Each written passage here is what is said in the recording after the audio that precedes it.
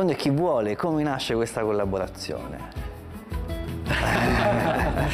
vale, vale, vale la pena. Una collaborazione che inizia tre anni fa. Il cantautore fiorentino Giulio Wilson aveva appena composto Vale la pena e, per vicinanza di temi trattati e sonorità tipiche delle Ande, pensa bene, nonostante sia nato solo negli anni Ottanta, di inviare tutto in Cile, agli Inti Limani. Come si fa a conoscere gli Inti Limani? No, io li conoscevo assolutamente, casa ho tutti i vinili addirittura dei miei genitori, anzi i miei genitori non ci credono, questa cosa sembra quasi assurda.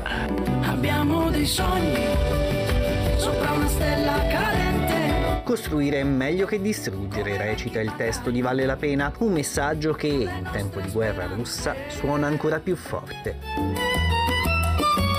Gli Inti Limani vissero in Italia per 15 anni a partire dal 73, quando in Cile il generale Pinochet impose la dittatura con un colpo di Stato. Hai vissuto quindi sulla tua pelle la mancanza di democrazia. Cosa pensi di quello che sta succedendo in queste ore in Europa? L'Italia che io ho conosciuto, penso che dopo sia andato perdendo quella, quel bisogno, quel sentire ogni giorno il bisogno della democrazia. È come quando respiri e non, non, sai, non sai perché è così importante respirare. Penso che ci sono giorni adesso in cui tutte queste convinzioni sono più forti che mai, però sono il risultato anche di, di aver dimenticato il valore della democrazia, il valore della convivenza.